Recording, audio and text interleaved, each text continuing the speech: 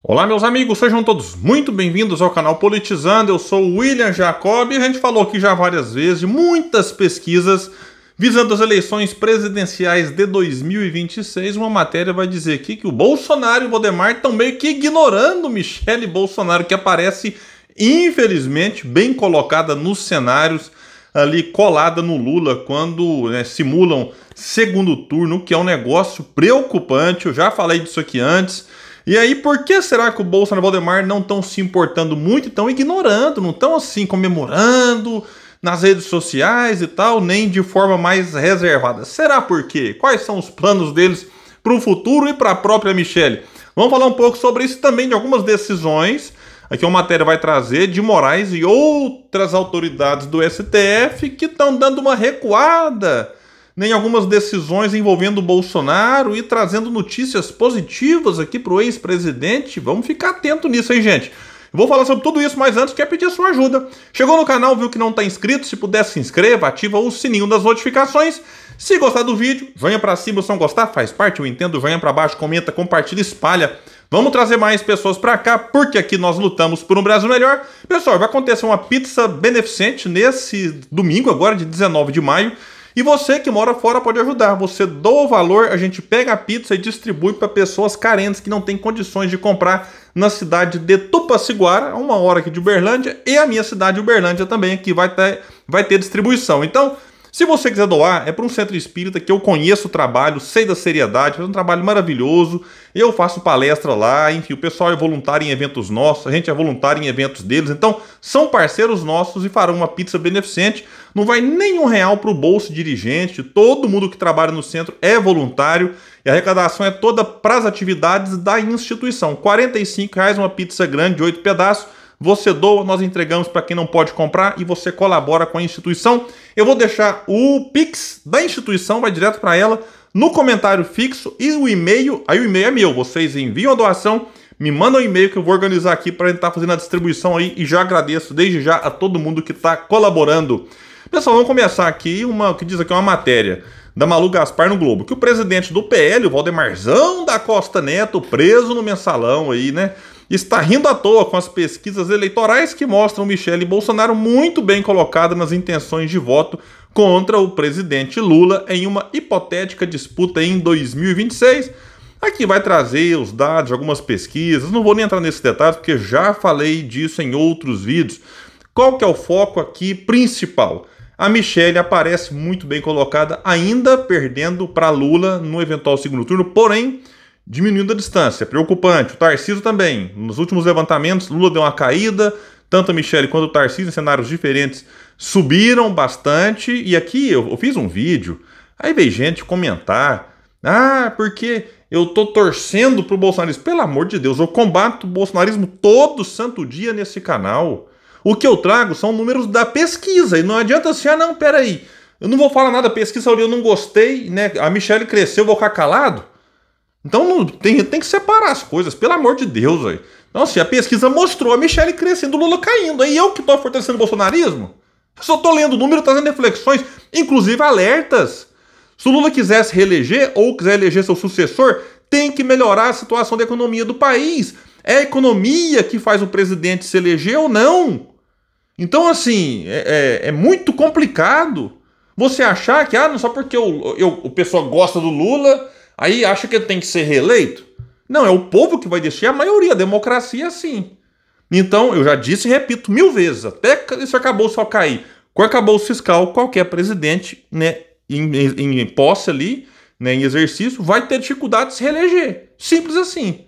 Se o Lula não for reeleito em 2026 e qualquer um outro nome ganhar com arcabouço fiscal, esse outro nome, seja ele quem for, vai ter dificuldade de se eleger em 2030. Arcabouço fiscal é para acabar com o piqui do Goiás, como diz aqui em Minas Gerais, e diz também lá no Goiás, aqui pertinho. Não tem condição, cabimento um negócio desse que foi aprovado e comemorado pela dita esquerda. Já disse, repito também, com votos, infelizmente, do partido que eu sou filiado, o PDT. Eu fiquei com vergonha. Deputados do meu partido votando a favor de arcabouço fiscal. Agora estão vendo aí a ficha tá caindo, ah, o arcabouço não tem que mudar a meta. Pois é, não tinha que ter feito arcabouço fiscal. Ah, mas não tem correlação de forças. Isso é conversa, pessoal. Isso você constrói. Deu ministério para União Brasil, PSD e MDB para quê? Para aprovar acabouço fiscal? Se eles aprovariam, até o PL que não tem ministério votou a favor do acabouço fiscal, o PL do Bolsonaro votou a favor. Um monte de deputado, é só pesquisar. Então, o que, é que vai dizer aqui? Voltando para a questão.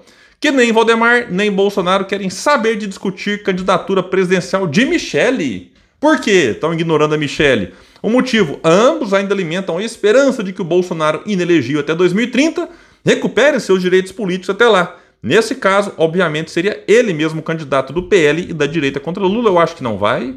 Eu acho a situação dele aqui é muito difícil. Se ele chegar lá livre, leve e solto, já está no lucro, porque tem tudo é para ir parar na cadeia, pagar pelos crimes que o Bolsonaro cometeu.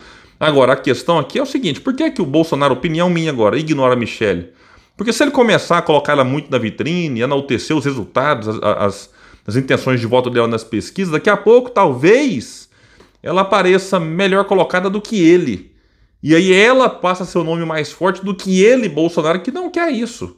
Bolsonaro quer manter a força com ele e não com aliados, mesmo que seja a esposa. Então por que, ele não fala muito o Tarciso como candidato? Elogia o Tarciso aqui ali, mas não assim, para uma espécie de pré-campanha, que muitos já estão. O Caiado, por exemplo, está em pré-campanha já aberta.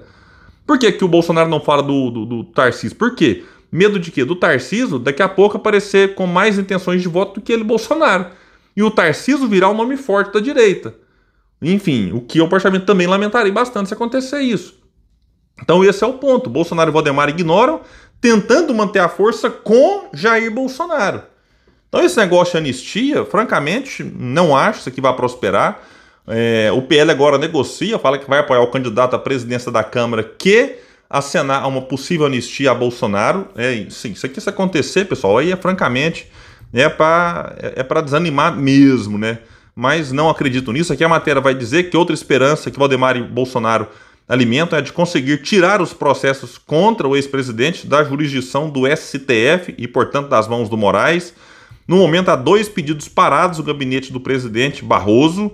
É, enfim, uma chance aqui que eles consideram até menor do que a questão ali da anistia, mas dizem que enquanto houver chance, vão manter a esperança. E até lembram da situação do Lula, que estava inelegível e teve devolvido seus direitos políticos e venceu as eleições em 22.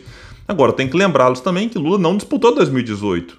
Né? Então, foi depois, aí teve a Vaza Jato, a gente teve acesso àquilo que né, todo mundo já apontava, as ilegalidades da Lava Jato.